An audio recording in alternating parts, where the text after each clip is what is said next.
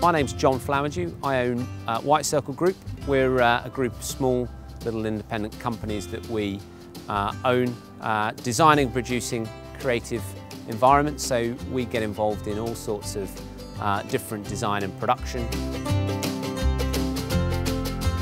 The milestones that uh, we've reached as a business and me personally um, have been setting up initially, which was six years ago, then working through um, where we are now, relocating into this area, um, launching our own product, um, which is what we've been using today.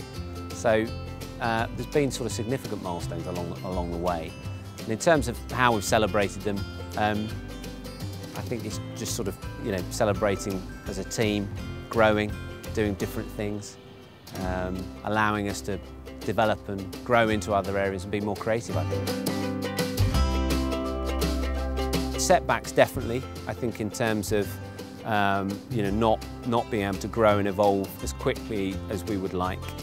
Um, and, and, learning from them, I think it, it's just a question of um, you know, taking the time to reflect and understand perhaps what, what we could have sort of, what we could have done differently. I think we, we definitely take less chances and risks than we, we would have done before the recession.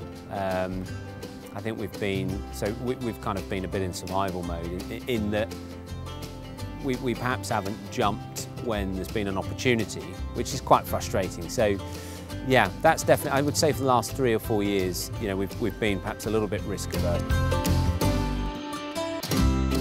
So we do have some unsocial hours and, and weekend work, but um, generally it, it's pretty good. We have a reasonable balance, and, and, and, I, and, you know I think sort of there's a bit of working from home and all the rest of it. But no, we I, I, it's very important, isn't it, to have a, a really good work-life balance, and I think as a team we do we do pretty well. I think.